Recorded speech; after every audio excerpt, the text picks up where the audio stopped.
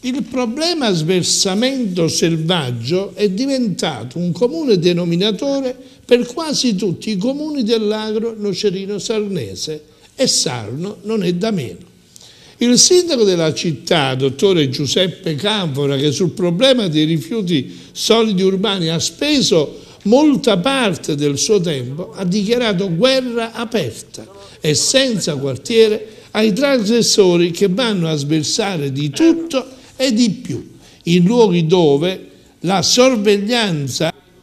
è ed è stata più difficile e complicata, per cui il problema sversamenti si è acuito anche se, dice il sindaco di Sarno, si sta tentando di individuare i responsabili e infliggere loro denuncia e richiesta danni morali, materiali e legali.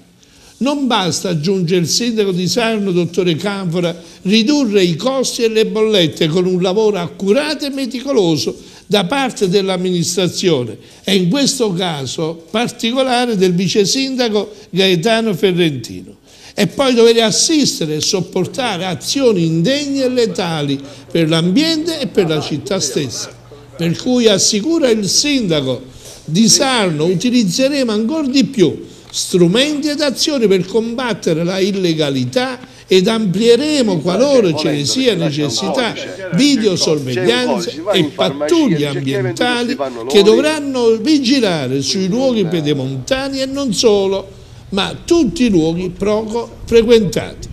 È guerra agli sversamenti selvaggi ed illegali e a chi pensa di risparmiare sulla pelle dei cittadini e della città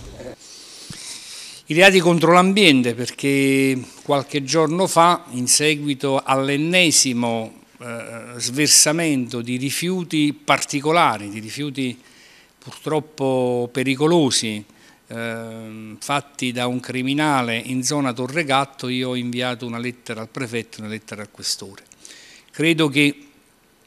noi dobbiamo intensificare necessariamente la lotta contro chi abusa sversando non soltanto eh, eh, occasionalmente i rifiuti lungo le strade, lungo zone più o meno lontane dalla, dalla, grossa, dalla grande circolazione, ma soprattutto stare attenti a chi in maniera veramente criminosa eh, abbandona premeditatamente, ecco, insomma, non solo il sacchetto selvaggio, ma tonnellate, tonnellate di rifiuti che, devono, che hanno codice, codici particolari e che devono essere smaltiti da industrie particolari, quindi sono reati veramente molto gravi.